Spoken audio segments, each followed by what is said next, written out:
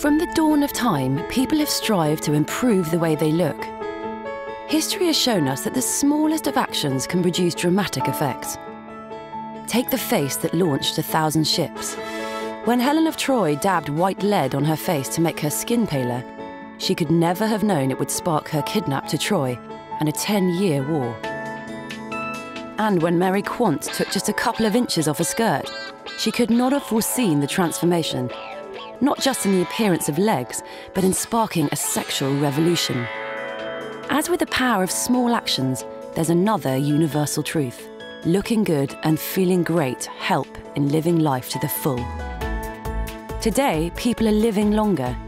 An active and aspirational life isn't the exclusive right of the young. Looking and feeling good can be the norm for all of us during our entire adult lives.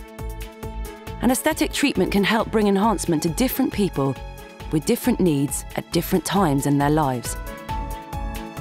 This is why people are passionate about aesthetics and the role it plays in helping people live the lives they want. A very typical patient is a patient who feels that, that he or she lives an active life and they feel young at heart, but when they look in the mirror, they feel that this doesn't really correlate to how I feel.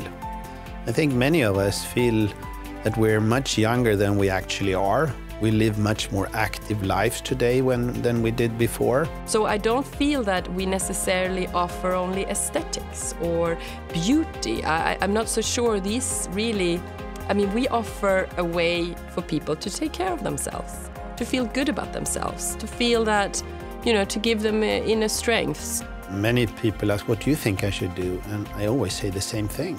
For me, you're fine as you are. I don't have any opinion about uh, your looks.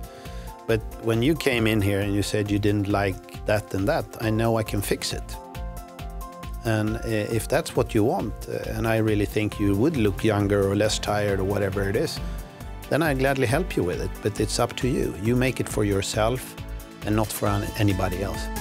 Human emotion and physical appearance are so entwined that aesthetics is no longer seen as just a means to physical improvement. We now stand at a tipping point for innovations in aesthetics, and Galderma ANC is ideally placed to continue to help enhance people's lives even further. The opportunity is vast.